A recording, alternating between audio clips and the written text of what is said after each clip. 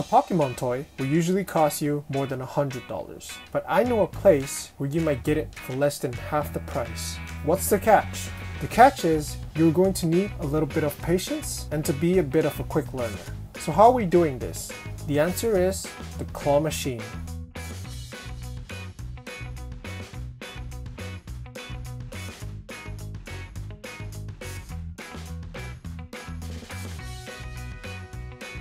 Been trying this for so long. Let's get this one. Pikachu? Yep, Pikachu. Come on, come on, come on. You got this. Oh man, not again. Come on. Oh, my friend, you need some help here. Definitely, because uh, I've been trying all these machines for so many times. I paid so much money as well, but uh, I still couldn't get this one. Is there is there a technique that? Um... Yeah, there's some techniques to it. Uh, let me show you how to get this Pikachu, yeah? Oh yes, that would be great. All right. Everyone must have heard of the claw machine. It has set off a boom in Japan and Taiwan, and the boom has now arrived in Hong Kong. When you walk inside an arcade, you will see a variety of machines and all types of prices. Some even showing the sign, I'm about to fall, to attract you. Who can refuse the temptation?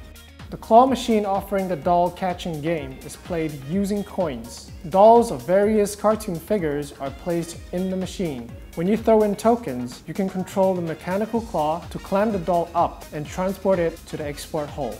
The key of this game is to be very skillful in controlling the mechanical grip, something that is not easy to master. Nowadays, the claw does not just go straight up or down.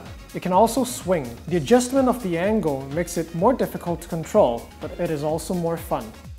Today we have invited our guest Edwin Ho, a game addict, doll catching expert to teach us the skill of getting a doll inside a claw machine. I've been playing the claw machines for over 20 years. Whenever I go to travel at Taiwan and Japan, I always get attracted to those claw machines. So like all the kids in the world, we started to play claw machines when we were a child. The skills that I developed in claw machines would be the physics knowledge, basically which part of the price to aim for to increase the chance of getting it. You have to know the weight distribution of the price and the figures so you know which part to aim for. Within five times, I would get the prize. So I would say about 20 to 25% chance that I would get a prize. I like claw machines a lot, basically like my sports right now. It would develop my muscle memories and it increases the chance of me getting the prize next time. You play a game that you could keep getting better at. So it's not only a one-time playing, it's like a long-term sportsmanship for me. Let's go, let's go. Pikachu. Oh, look at that. Oh, wait, wait, wait. One more time, one more time. You got this. We're almost there. Whoa, yeah. Woo!